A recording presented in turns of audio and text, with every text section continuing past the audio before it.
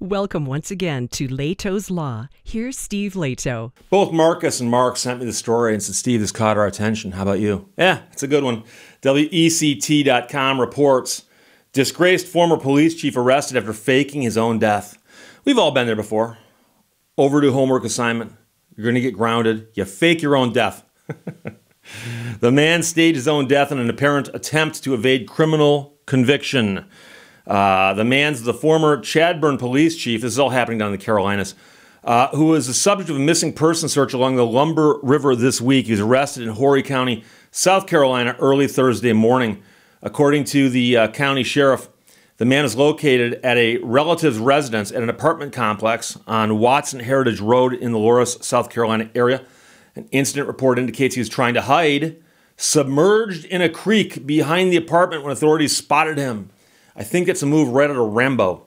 He ran from authorities but was taken into custody after a brief chase and struggle at approximately 12:45 a.m. And as he is struggling with the police who are trying to arrest him, you've got to ask yourself, did the thought occur to him that I'm now doing to them what used to annoy me when people did it to me when I was a cop? We don't know. Meanwhile, his relative disputes claims that she's harboring a fugitive.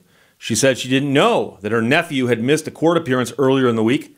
She said he called her Sunday night saying he was having marriage problems and considering suicide. Uh, she told him not to kill himself and said he could stay with her for a couple of nights, if that'll help you. She said she was shocked when authorities showed up at her apartment early Thursday looking for him. I was told different stories, but I do know, and I will state to the fact, that he is not no drug addict like they say he is. Columbus County cops is doing him wrong. That's what she said of his legal troubles. Meanwhile, the man is currently being held at the Reuben Detention Center for Horry County. He's got 40 outstanding warrants. 40, that's 40. 40 outstanding warrants for failure to appear for a total bond of $1 million.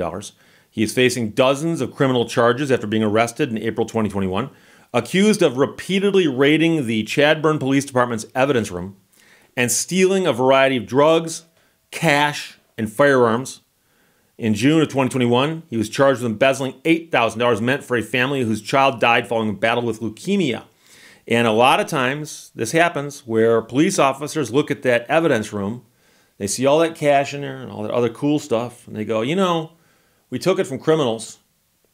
Uh, if we take it, it's a victimless crime, which of course is not the case, but that I think is how the thought process works. So uh, in August, he managed to post a half million dollar bond to get out of jail while awaiting trial, despite efforts by the DA to keep him locked up. Some suspected he was related to the bail bondsman who got him out of jail because they shared the same last name, but the owner of the company tells WECT there's no blood relation to the best of her knowledge, and this was a standard transaction. After he bonded out, he was arrested again, charged with stealing catalytic converters from an auto repair shop uh, that he was working at as a mechanic. Court documents indicate the DA's office again lobbied to have his bond increased or revoked because he was a threat to the community. Uh, the judge didn't buy that, but but he's also a flight risk. We know now. Hindsight being 2020. The uh, prosecutor also filed a motion to prevent him from using ill-gotten gains to post bond, but the judge said that became a moot point because a bail bondsman put the money up. He then missed a court appearance early this month, telling the court through his attorney that he could not attend because he had COVID. He had COVID. When he missed another court appearance on Monday, his attorney informed the court that he was missing and may have taken his own life. And that's the kind of thing where I look at that and I wonder if the attorney was told that or was he piecing it together himself? Or why did he say that? Because it's not uncommon for an attorney to appear before the court and say, Your Honor, my client's not here. And if the judge says, Well, can you tell us when he'll be here? the attorney will often have to say, I'm sorry, but I can't address that. Because they may or may not know something that they may or may not be able to divulge. But, but, the sheriff's office was contacted on Monday by North Carolina wildlife officers that had found an abandoned boat in the Lumber River near a hunting club. Wildlife officers were told that the man was last seen driving a truck found at the location and that the boat belonged to him. So deputies descended on the scene, and along with the sheriff and the special operations unit, uh, including the man tracking and dive units, And as the sheriff's office began to search the area, investigators spoke to his friends and family who were at the scene. Investigators began collecting evidence. Family members described the incident as a possible suicide. Among things found at the scene was a rifle with a discharged round in it, a boat, and handwritten letters. And we do not know what the letters say or contain, but the suggestion is they might have been suicide notes. Investigators quickly concluded, however, the evidence collected did not support a suicide scenario. The man is still missing, but dive crews searched the waters. They brought in tracking teams, they searched the wooded areas.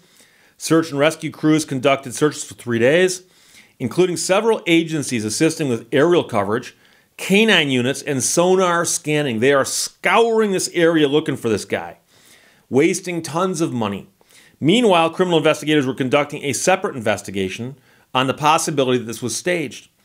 As investigators collected video from surveillance systems and conducted interviews, it became even more apparent that the scene on the river was, in fact, staged. So, search crews combed the river for signs of his body. The U.S. Marshals and agents from the State Bureau of Investigation were chasing down leads that they'd heard he was still alive. And um, somebody told the court that due to unusual circumstances, they should allow for the possibility that the man was still alive but had staged his disappearance.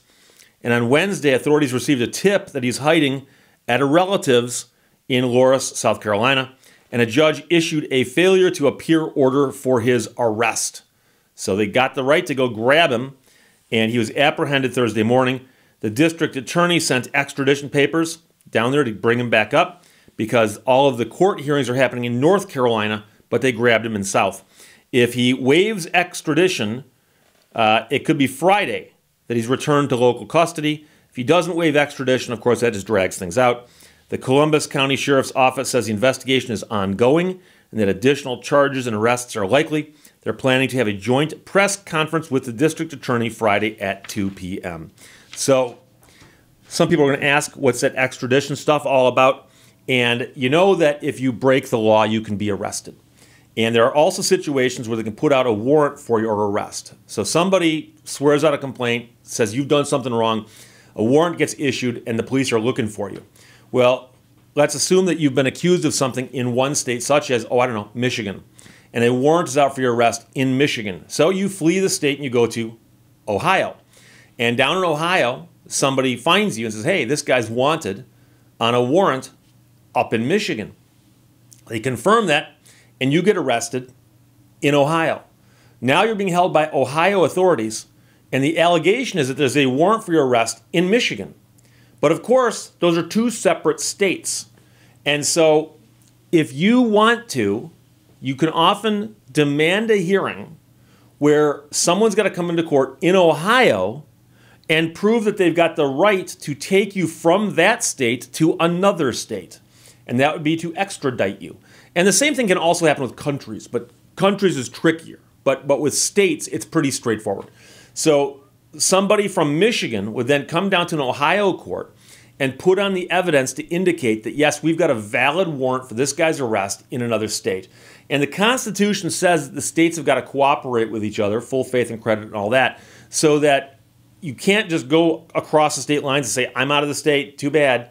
So the states will cooperate with each other but due process does require that somebody's got to come down there and, and make a good case as to why you can be taken from this state to another state.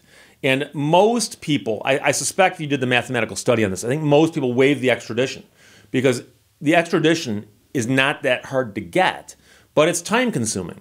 And so we've heard of cases before somebody just dragging their feet will fight everything and force them to jump through all the hoops. But quite often they just waive it and say, fine, I'll go back. So we'll see what happens. But the headline's a good one because the disgraced former police chief arrested after faking his own death. And it turns out that there were also 40 outstanding warrants for failure to appear. And uh, he faked his own death, apparently, in an attempt to make them stop looking for him because they were going to come after him for those 40 outstanding warrants, which stem from stuff that disappeared from the evidence room at the police station while he was the police chief. And now he's the former police chief. And now he's in a lockup someplace. thinking to himself, where did it all go wrong? So there you go. Marcus Mark Sennett from WECT.com. Questions or comments, put them below. Let's talk to you later. Bye bye. Thank you for watching Lehto's Law.